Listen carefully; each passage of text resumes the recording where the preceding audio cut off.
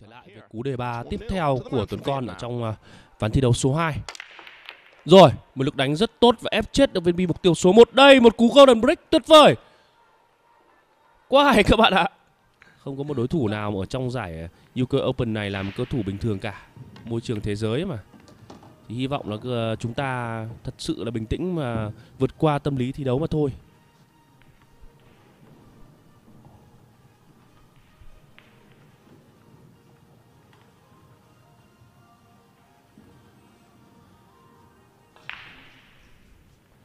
À, nhờ các bạn đợi một chút nhá thì à, anh em đội kỹ thuật của chúng tôi sẽ ghim cái link ở trên fanpage Việt Nam Black Promotion để chúng ta cùng lên đó để lấy thông tin về các các trận thi đấu.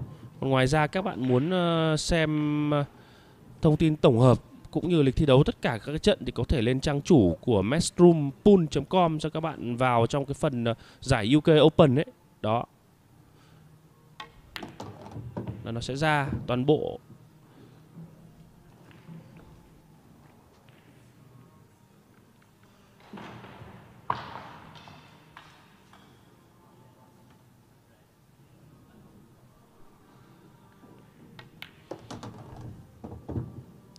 Quay đi quay lại thì Abdullah đã chuẩn bị dọn hết bàn rồi.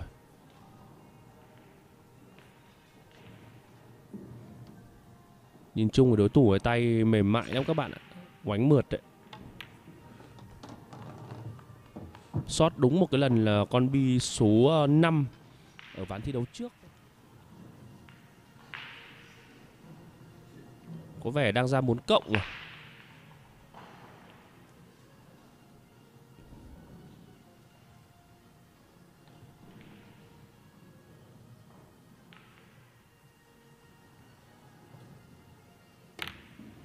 Rồi hay quá các bạn ạ. Ghê thật. Một ba rồi.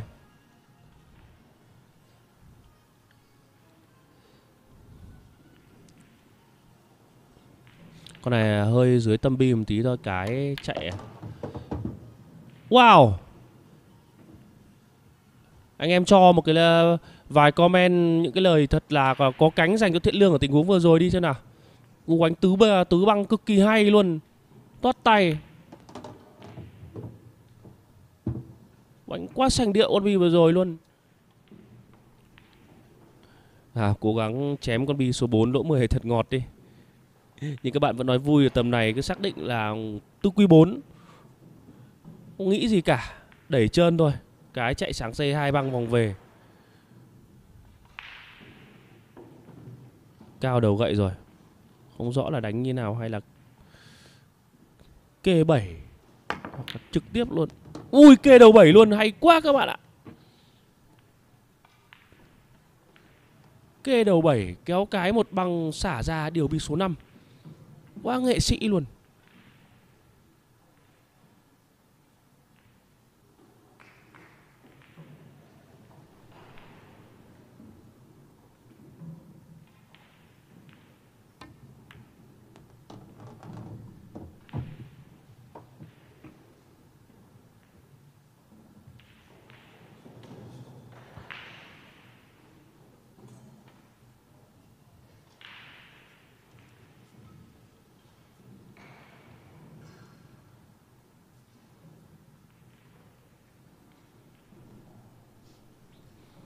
Sau khi thực hiện một cái tình huống uh, oánh bi số 4 khá hay như vậy thì bây giờ đang có một cái bài toán khá hóc búa dành cho Lương Đức Thiện đó là phải cộng viên bi số 6 và bi số 9 rồi đây.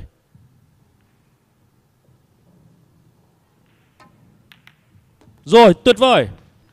Hay quá các bạn ạ. Một cái ván thi đấu quay quá nhiều hai cú đề ba tiếp theo của Tuấn Con ở trong uh, ván thi đấu số 2. Rồi, một lực đánh rất tốt và ép chết được viên bi mục tiêu số 1. Đây, một cú golden break tuyệt vời. Quá hay các bạn ạ. Chúng ta Đây rồi. Mãi mới thấy Joshua Filler phá một lần không ra hình. Oh.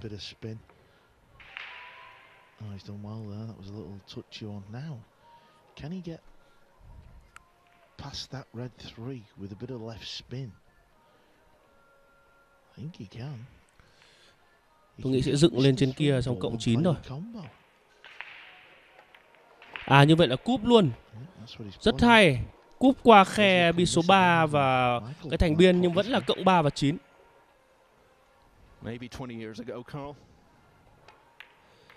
Rồi, tỷ số được rút ngắn xuống còn 3 năm dành cho Nguyễn Anh Tuấn của Việt Nam. Anh em đâu hãy vào. Rất tự tin.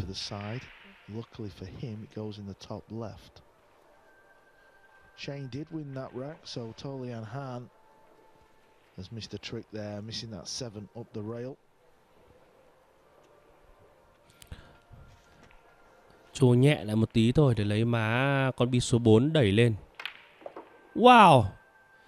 Trô một băng lên, hai băng cho thoát tay. Đúng phong cách của Tuấn Con luôn. Nó phải là như vậy các bạn ạ. Nó phải là hết ngọn. Nó phải là hai băng lên mới là Tuấn Con. Rất hay. In Spain in a few weeks' time. It's a good time.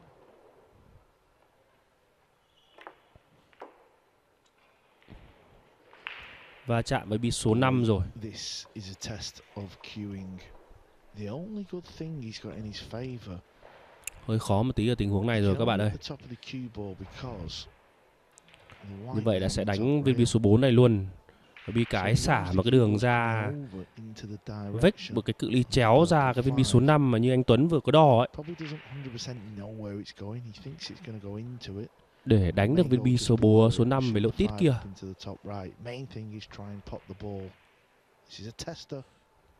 Cố lên.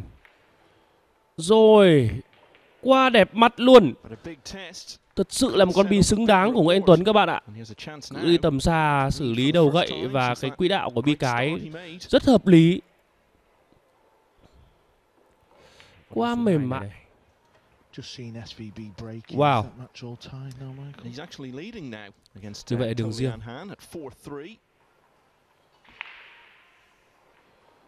Chấp nhận đánh một cú thủ ờ, vừa phải thôi vì rất khó để có thể tính toán chi tiết ra một cái đường thủ chết trong cái tình huống vừa rồi. Rất khó để thủ tốt. First man through to single elimination on the hill at 8-4 against Talal Al-Blushi of Kuwait.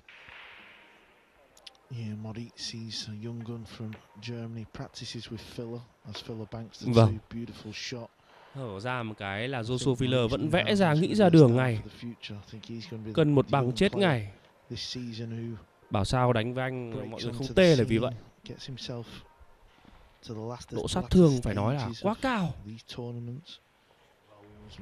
Vì uh, bốn uh, đánh vào cái đường uh, mà thoát hai băng như thế không điều được lỗ 10 thủ đấy. Không phải đánh trượt đâu.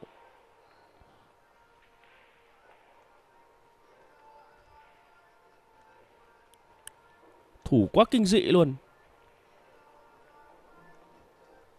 Playing the one rail.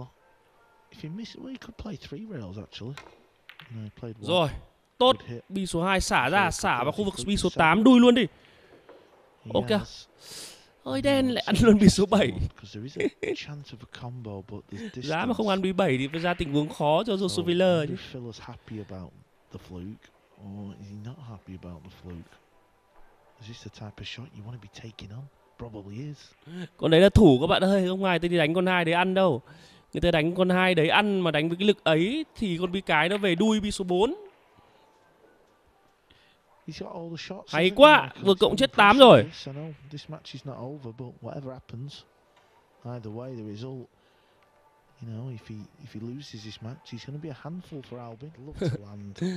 Còn 3 viên bi thôi anh em cố lên nào.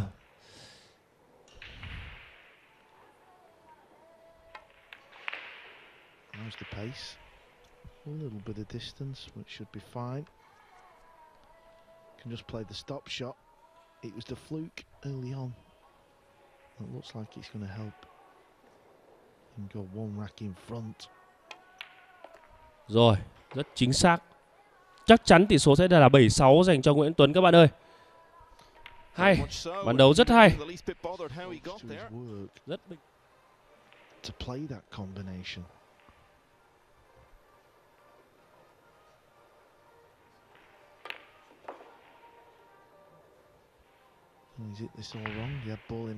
Wow, lựa chọn một cái đường điều hơi khó của Joshua Filler. Muốn điều hai băng cái ra khu vực chấm 2 thành biên bên tay phải kiểu đánh bi số 3 đường riêng lỗ tít bên tay trái đấy.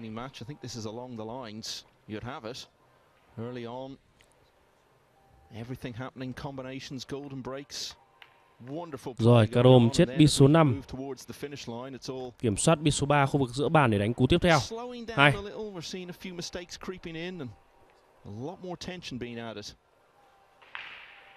Pha sửa sai rất tốt trong cái cú điều bi số 3 của nhà đương kim vô địch. Khá tốt các bạn ạ.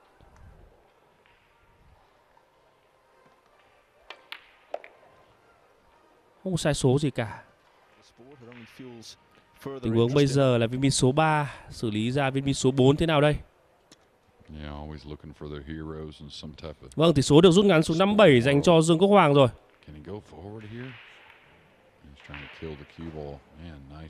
Rồi, hay quá các bạn ạ. see a very difficult position with the here. Just a few shots away, but a couple nice starters here at seven, seven.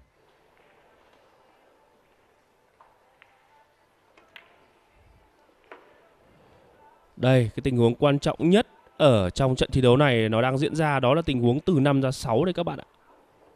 Hard pressed to believe he could get position on that six ball for some type of easy shot. So it may be a safety on the six. Could get to a thin cut, maybe run the cue ball up and down the table, but looks pretty dicey as well.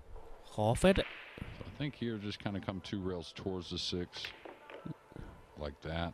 Try and get close to it to where you can knock it away with some control. And he just about got where he could play it offensively. Rồi bấm cái vào sau lưng bi số safe, 7 just a luôn. Rất hay. Ô đừng, đừng ăn, đừng ăn. Rồi, Didn't want that to happen either. Now any contact on the green six looks like it's going to be a made ball up in the corner. quá hóc búa dành cho Joshua Filler. Để xem lần này anh giải toán kiểu gì đây.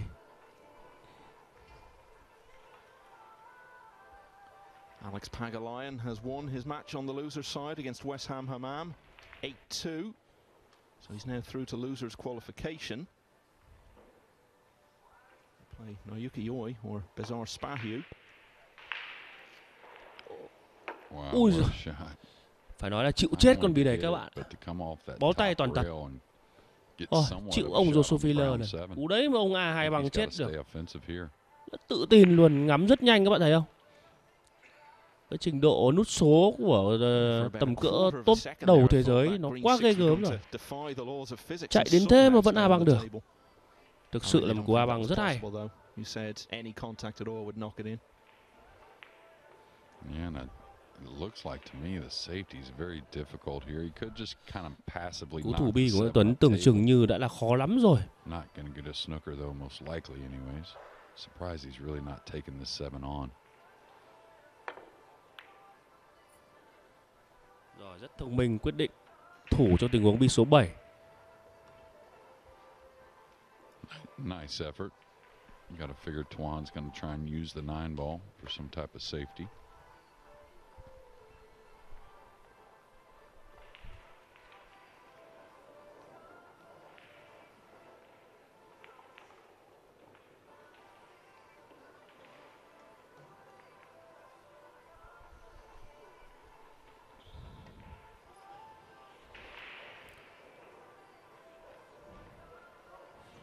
Khó. Nguyễn Tuấn muốn cho viên bi cái ra sau lưng bi số 9 lắm đấy nhưng không thực hiện thành công được. I don't think Josh is going to go offensive. I really don't. Considering he didn't take on that last seven ball in a crucial moment here. Looks like he's just going to play the seven to the top rail coming down near the eight with the cue ball. Tiếp tục thủ lại. Rất quái. Nhất định là sẽ không cần bi số 7 đấy. Con này thì thủ rất khó rồi.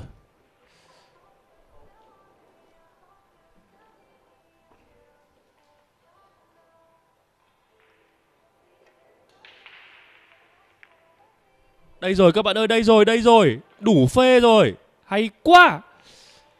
Anh em đâu một tràng pháo tay cho Nguyễn Tuấn đi các bạn ạ. Cho dù vẫn còn cái đường để Joshua Fele có thể sút tê vào cái bi số 7 rồi chưa phải là quá sát nhưng bi số 9 nhưng cũng là một tình huống tôi cho rằng là kiểm soát lực tầm xa và cái độ áp phê rất chi tiết của Nguyễn Anh Tuấn. Ra đến đây là hay lắm rồi, không thể hay hơn được nữa. Bây giờ mà họ sút tê chết Serbi số 7 thôi thì cũng chả biết làm thế nào. Trail 6-3 against the Lucius Yap. Thủ ra đây là cũng hay lắm rồi. Không thể đòi hỏi gì hơn ở cái tình huống vừa rồi. Đó, lỗi rồi các bạn ơi. Lỗi rồi. Đây rồi.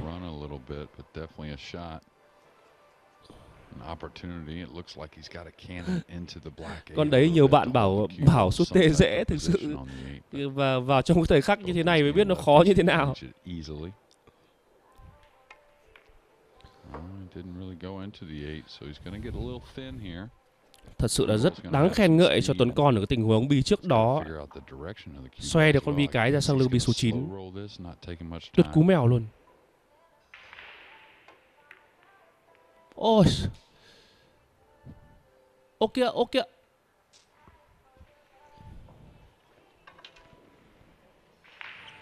Trượt rồi các bạn ạ. Thật think sự là đáng tiếc. when the player doesn't really address where the cue ball's going, you really don't complete the shot prior to getting down. And seems like when they they lose accuracy, and that's the case. Tiếc quá các bạn ơi. Hai chà. Điểm số thứ 8 đã bị à, tuột khỏi tay bởi con bi số of being 8. a really huge rack.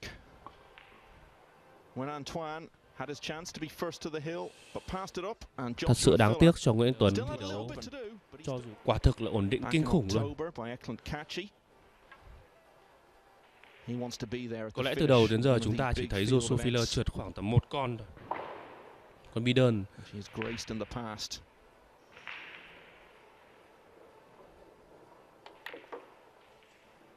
It's been a wonderful match this.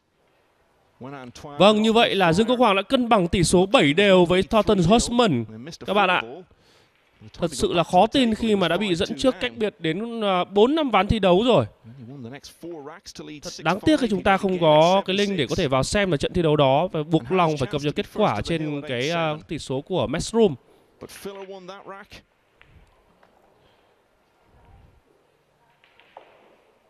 Gỡ kinh khủng luôn. And he's như vậy là tỷ số chung cuộc win this one 9-7 as dành cho tay cơ người Đức Joshua. Filler. Và xin absolutely được chúc mừng tay cơ người. Đức đã có cái sự thể hiện vô cùng tốt, cực kỳ đẹp mắt để cho chúng ta xem. Chiến thắng vô cùng xứng đáng.